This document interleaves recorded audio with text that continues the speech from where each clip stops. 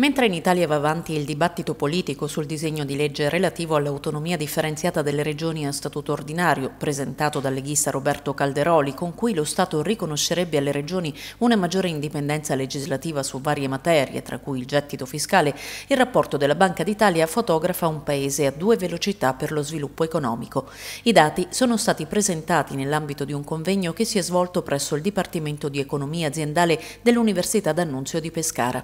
Nel divario nord e sud, l'Abruzzo si colloca più vicino alle regioni del centro-nord, vantando la grande risorsa del capitale umano con un'ottima percentuale di laureati tra i giovani, come sottolineato da Giovanni Giuseppe Ortolani, direttore della filiale regionale dell'Aquila della Banca d'Italia. L'Abruzzo storicamente si è sempre posizionato eh, rispetto a, a tutta una, la serie di indicatori economici e sociali più vicino al centro-nord piuttosto che alla media del meridione regione.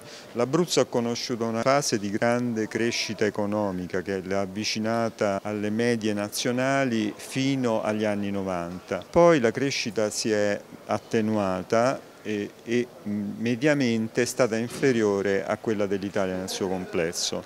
Quali sono le ragioni? Molto sinteticamente eh, i problemi risiedono principalmente in una minore produttività del lavoro dovuta in buona parte anche a fattori demografici. Quali sono i punti di forza dell'Abruzzo? Innanzitutto una buona dotazione di capitale umano. La percentuale di laureati nella popolazione tra i 30 e i 34 anni in Abruzzo è di gran lunga superiore a quelle del meridione e addirittura superiore a quella dell'Italia, quindi la regione è, è, dotata veramente, questo è un dato molto lusinghiero, di un, di un capitale umano molto qualificato che nella società attuale e del futuro in cui le conoscenze sono il centro, insomma ci, ci rende, questo dato ci rende eh, particolarmente ottimisti. Anche i dati Istat sull'export e l'occupazione del 2022 rilevano un andamento in generale positivo per l'Abruzzo, con l'export che sale del 2,1% nonostante il calo dell'automotive che registra un meno 21%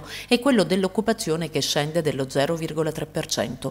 A parlarne nel dettaglio al TG8 è Pino Mauro, economista e docente dell'Università d'Annunzio. Ci sono eh, due momenti di riflessione. Il primo momento riguarda appunto l'export export no? dove l'Abruzzo registra una crescita del 2,1%, è una crescita contenuta ma eh, questo è dovuto essenzialmente alla caduta molto forte che ha avuto il settore dell'automotive, i mezzi di trasporto in particolare, diminuiti di circa il 21%.